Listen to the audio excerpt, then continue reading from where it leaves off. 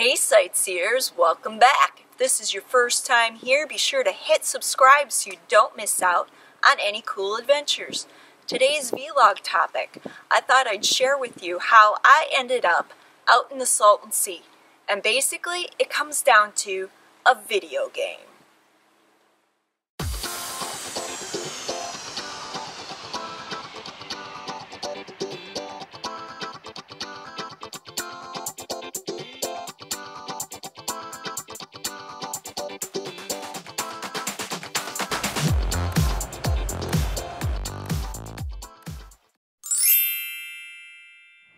That game, Grand Theft Auto 5.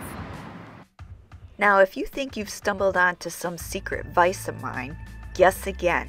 My other half is the one who's a big fan of GTA 5. It was his idea that we come out and see for ourselves the area that inspired all the different places that you see within the video game. And when he first presented it to me, I was like, uh, why would I want to do that? But when I found out I could trade in my sweatshirts for tank tops, I was like, where do I sign up for this? Thus, we set about looking for every single possible place in real life that's featured in the video game. For example, this house that's found in Bombay Beach can actually be found in the video game as part of Trevor's neighborhood. Behind me is actually one of the buildings that in the game of GTA 5 is run down and dilapidated, but as you can see in real life, the community of North Shore has fixed it back up. Being from Wisconsin, we had no idea the amount of abandoned buildings and things we'd run across during our explorations out here in the desert.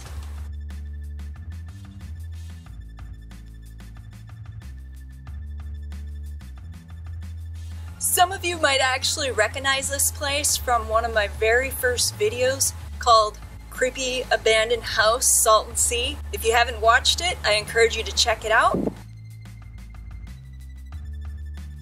Nor did we realize just how accurate GTA 5 would turn out to be.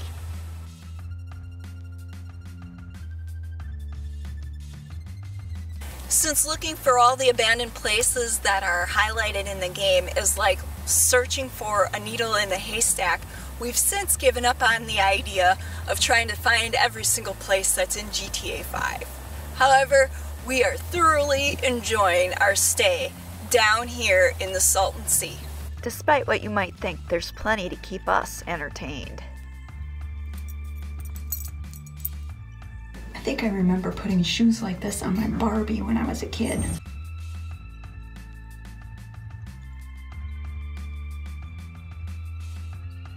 You could stab somebody in the eye with one of these things.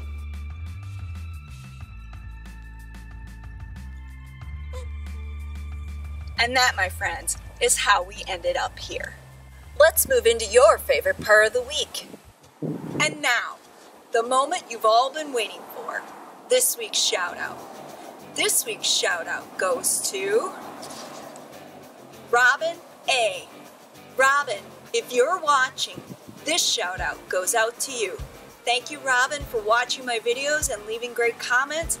I truly appreciate it very much. And I'm looking forward to watching your next Tiny Planet video.